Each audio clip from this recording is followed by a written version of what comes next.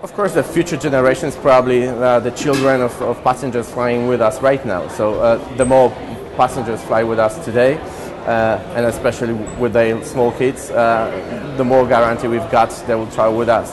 Uh, children are smarter than we are. They are much more effective in using uh, IT tools. therefore, they are tougher customer because they, they will be more demanding.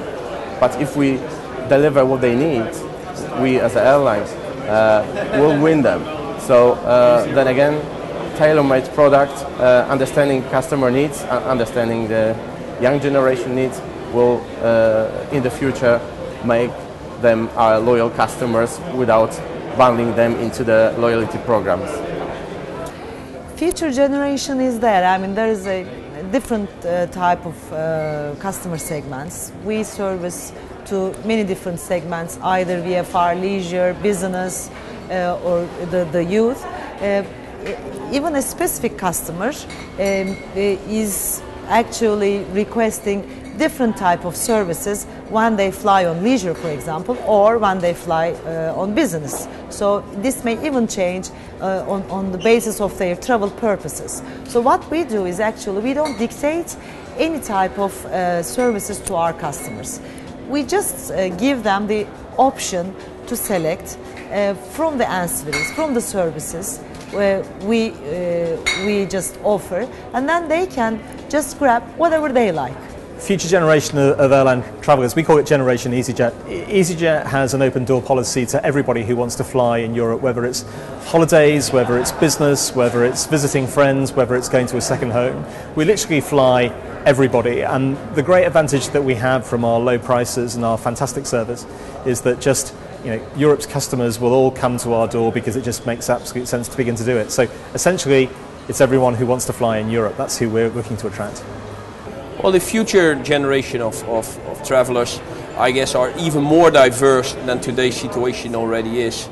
And even one person today could have the wishes to buy all the extra things on a flight he can imagine. And tomorrow he may want to go for the lowest possible fare, but still under the full service umbrella.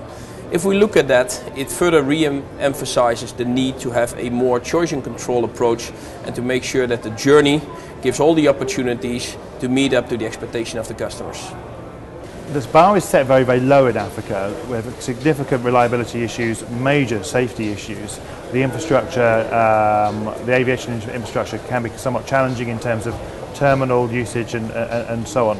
And so we set out to fly to European standards of safety and security and so, you know, we have Western mentality to, to, to safety. We use um, very well-known international standard uh, MROs, for example, um, and we fly on time. So in Africa, you pitch up whenever you want, and the aircraft will be there because it's kind of waiting for you, really.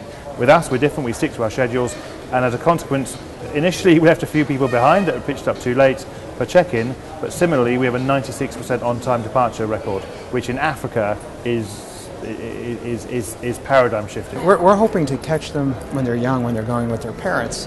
And we certainly recognize the changing uh, technological view that people have, and obviously, uh, children, teenagers, and young adults are super critical to our business, so we need to be relevant for them. And, as well as uh, the other customers that we serve, the other customer segments over the years. So everybody is important in one way, shape, or form. We just need to make sure that we're relevant to them.